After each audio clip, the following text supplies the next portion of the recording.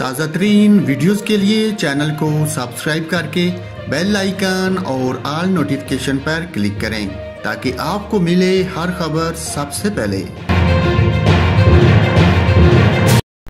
Pakistan cricket के शायकीन के लिए अच्छी खबर। जमीका टेस्ट मैच के आखिरी दिन पाकिस्तान ने वेस्ट इंडीज़ को एक सौ नौ रन से दे दी।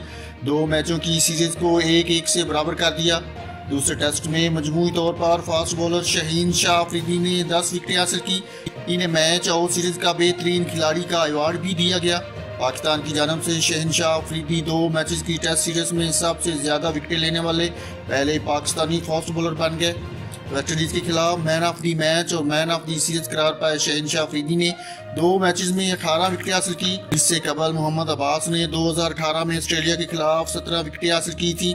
इसके अलावा श्रीलंका के खिलाफ मोहम्मद अब्बास और मोहम्मद आसफ ने 2006 में 17 17 विकेटें भी हासिल कर रखी हैं।